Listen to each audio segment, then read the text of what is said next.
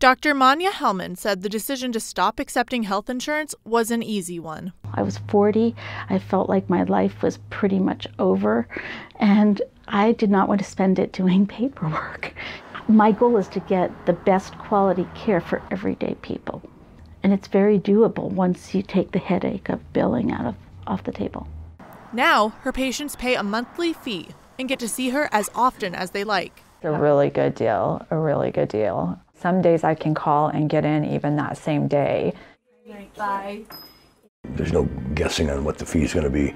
I don't sit in a waiting room for hours. I get in, get out, and they handle everything I need uh, taken care of right here.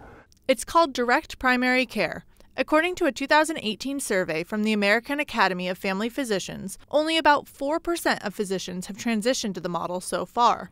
There are several in Oregon, including Dr. Hellman in Salem and Dr. Matt Bain in Albany. So you hear all the time how expensive healthcare is. It's not true at all. What's expensive is the third party administration of healthcare. That's catastrophically expensive.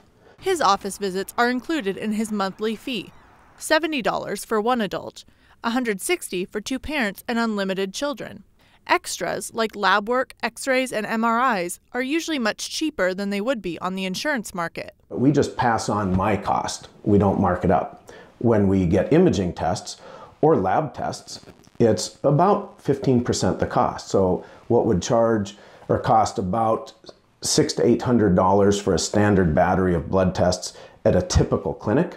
We can even use the same lab, get the exact same lab test done, and what would cost you 600 to 800 will cost you 50 to 80. We're saving on average of about $1,200 a month. And not having to deal with billing headaches leaves extra time to focus on care. I've had a couple like emergency situations where I've needed to be into a doctor ASAP and he would get me in right right then and there. And sometimes it was on a Saturday or a weekend. He would always make that effort to come see me. I'm able to spend more time and put more energy into my patient because I'm not having that sucked over to dealing with issues with insurance. At the same time, I can dramatically cut my cost. It's so freeing, and I really look at it that I'm really moving back in time to old fashioned medicine where the patient is in charge of what we do. But a DPC practice is not the same as insurance.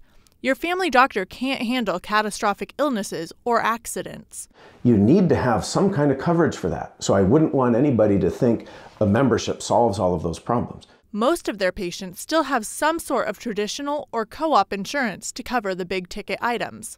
Healthcare shouldn't be dominating their worries and their thoughts. It shouldn't dominate the national conversation, it's not that hard, right? You need your major medical, health savings account, friends, community, and direct primary care. And then we can all go out to dinner. then we can go have fun. yeah. In Salem, Hannah Ray Lambert, KOIN 6 News.